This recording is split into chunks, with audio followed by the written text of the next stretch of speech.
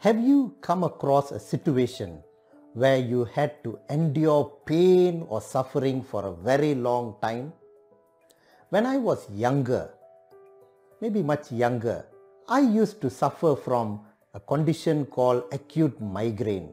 When I used to get these migraine attacks, these migraine attacks used to last not just hours but days and sometimes even entirely for a week or even more than a week. The pain used to be so excruciating that I cannot sleep, that I cannot work, that I cannot read, that I cannot do anything. And it used to be quite frequent, sometimes at least once a month. I used to suffer so much that when I get this attack, someone will have to carry me to the clinic. My wife usually used to do that and I will have to get a special injection to reduce the pain. And after that, it will only subside after several days. Now, I used to suffer from migraine for many years until one day a doctor diagnosed that there's something wrong with the way my pressure works, my body pressure works. So he put me on some pressure tablet. You know what happened? Almost like a miracle. Ever since I started these pressure tablets, my migraine never came again. It was no more my migraine. It was something of the past. Now, this was an experience of a kind of a bondage which I had for many years. And this particular pressure tablet was a kind of a freedom which I got, which I was so joyed with. And I'm still overjoyed over this freedom which I have obtained. Probably this is God sent. So dear brothers and sisters, all of us go through some kind of a bondage. For me, it was an experience of pain for prolonged periods. Others may go through bondage of lack of money. Others may go through some other kind of pain in their body, in their mind. It could be an oppression from someone. It could be prolonged. All these are different kinds of bondages. Today, in the Bible, the gospel tells that Jesus gave his disciples power over demons. Now, why did he give power over demons? Basically, he wanted to free people from the hold of the bondage which is done by the evil one. When the evil one comes, he always binds people with pain. He binds people with sin. He binds people with suffering. He binds people with oppression. He binds people with all kinds of injustice. And this binding of the devil can be going on for long periods of time.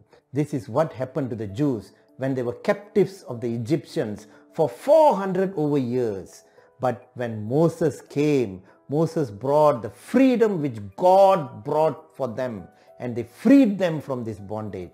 Like this freedom with the Jews experience, all of us need to be freed from the hold of the devil, from the hold of oppression, from the hold of pain of some sort.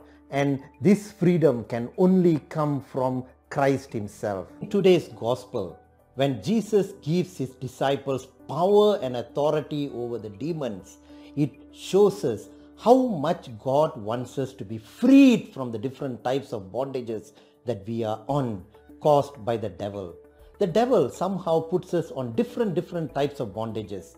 It could be sin, it could be a disease, it could be oppression, it could be injustice. Whatever the kind of bondage we are going through, it is evident that God wants this bondage to be taken away as soon as possible, immediately, with urgency. That is what I can see happen in the case of today's gospel. He instructed his disciples not to even take backs on their mission in going and freeing people, going and healing people. Why? He didn't want them to waste time anywhere. He wanted them to be focused on the mission of freeing people, of taking away this bondage from people who are going through all sorts of sufferings. So, dear brothers and sisters, God's deliverance is imminent. God's deliverance is a matter of urgency for Him. He wants us to be delivered. All that needs to be done is for us to turn to Him and cry out to Him, Free me, O Lord. Sometimes it will come immediately, sometimes it may take a while. But as long as we are crying out to Him, He will send that deliverance. But then today's message is also a message for us. how can we deliver the different types of bondages people are going through as disciples of Christ. We are having a mission given by Jesus Christ, and this mission is an urgent mission.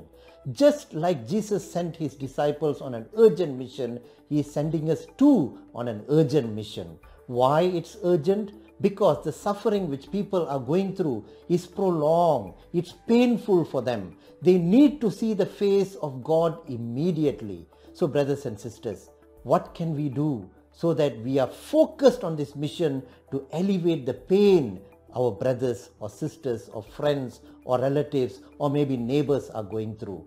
How can we put our mind and our heart and our focus to it so that we will bring forth this deliverance of Christ to them as soon as possible? What can we do? I can easily think about the various works of mercy the church has taught us the spiritual works of mercy as well as the corporal works of mercy. Today, let us think about these works of mercy. Let us for a while ponder how can we do these works of mercy as though it is a mission of us sent to be done in an urgent manner. Why in an urgent manner, brothers and sisters?